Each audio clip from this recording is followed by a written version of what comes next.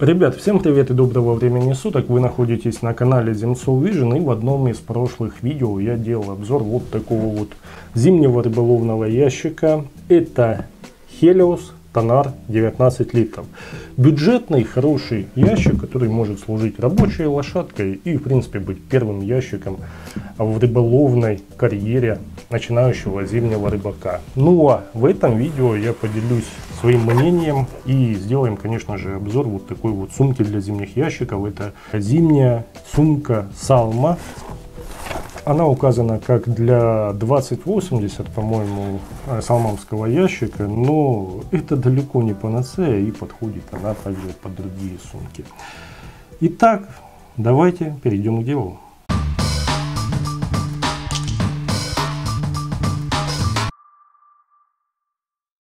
Во-первых, сумка это в сложенном состоянии довольно компактная.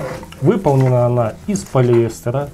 Этот материал устойчив хорошо к стиранию. Он до определенной степени держит влагу, но, конечно же, не является водонепроницаемым. Поэтому в том случае, если вы раньше рыбачили с ящиком пластиковым и приходили, просто ставили его куда-либо, ну и не думали о нем. Он, конечно же, не ржавел, не портился, не гнил. Что касается сумки, то тут, конечно, либо нужно ее после рыбалки снять и высушить на батарее, допустим, либо тот же самый ящик поставить где-то рядом с батареей для того, чтобы высохла эта самая сумка. Габариты данной сумки составляют 39,5 на 24 и на 37 это высота.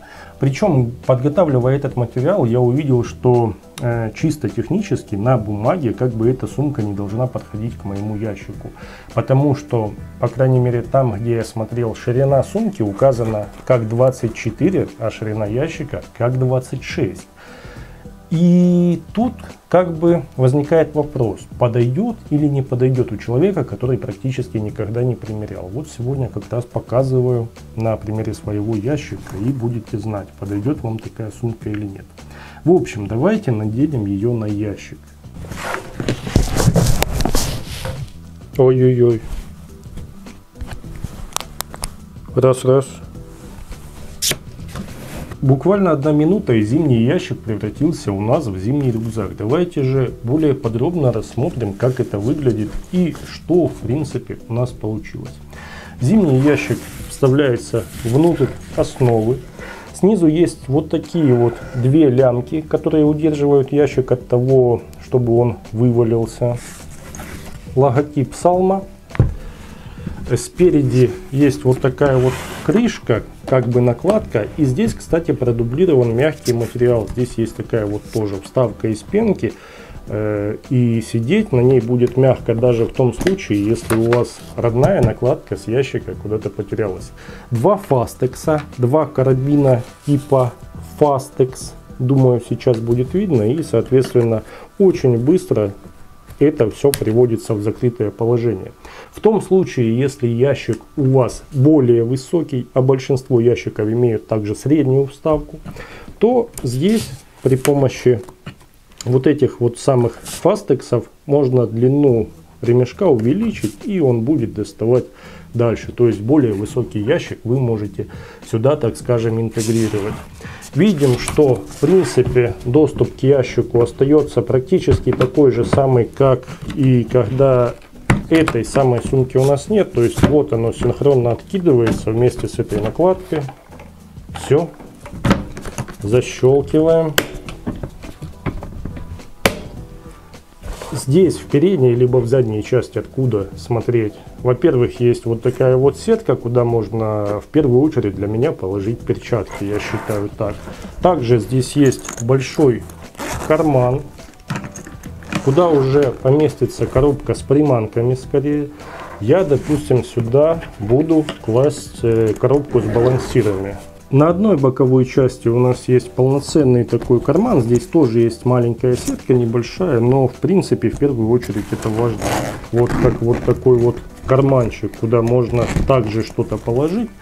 Э, в моем случае я буду сюда класть видеокамеру, экшн камеру. Хотя тоже не факт. Почему? Потому что э, слишком сверху как бы находится эта молния, лучше положить что-то ценное внутрь, а сюда можно, допустим, какой-то небольшой тормозок, пару бутербродов забросить, в принципе, будет замечательно. С этой же стороны, с противоположной, у нас есть вот такой вот карман, он на утяжке, то есть мы можем сюда вставлять что-то довольно объемное и потом это довольно хорошо фиксировать. Этот карман, в принципе, также подойдет для тех же самых перчаток, для какого-то, возможно, дождевика, если вы идете рыбачить уже в конце сезона. И также сюда можно попробовать поставить термос. Читал, что люди так используют этот карман. Ну, в принципе, посмотрим на практике, что получится. В задней части есть у нас, конечно же, вот такие вот две лямки, которые между собой дополнительно фиксируются на груди при помощи также фастекса, при помощи такой защелки, которая дополнительно фиксирует э, данный рюкзак на корпусе. Единственный момент, который хочу от себя сказать, это родной ремешок надо либо снимать, либо вставлять его вовнутрь этого всего, но вовнутрь это опять же будет э, застревать, будет неудобно потом доставать. Поэтому лучше снимайте. Я сейчас просто демонстрирую это все, поэтому не снял ремень. Но в целом, конечно же, на мой взгляд, вот это вот просто замечательная вещь для тех рыболовов, которые э, в первую очередь э, пешком ходят далеко. Допустим, если вы приезжаете на автомобиле прямо к водоему, и вам нужно пройти 50 метров с ящиком, с ящиком никаких вопросов. На плечо, на одно плечо, дошли, забурились, ловите, все. Но мне довольно часто приходится ходить минимум ну, 10 и до 20 километров пешком. Это с буром, с рюкзаком, со снастями, поэтому, конечно же, на одной стороне плеча мне лично носить это все очень и очень неудобно. А вот в таком виде, в виде рюкзака, просто замечательно. Но тоже, с чем пока лично -фу не сталкивался, но о чем читал о чем смотрел, это о том, что есть опасность травмировать спину при падении больше, чем при наличии, допустим, обычного рюкзака, потому что вы падаете на жесткое. И тут, конечно же, на льду надо быть осторожным. Возможно, когда вы доходите до самого водоема, можно сбрасывать рюкзак на одно плечо, на одну лямку и по самому льду, там где скользко, двигаться уже так там обычно двигаться недалеко. А до водоема через лес, по городу и так далее, в состоянии рюкзака идете, идете, идете. Вот так вот. Лично мне данный рюкзак, вот сейчас покажу на ту камеру, мне этот рюкзак нравится очень и очень сильно. Сейчас уже осталось в моем регионе буквально месяц, наверное, до установки льда. И поэтому жду с превеликим удовольствием и трепетом.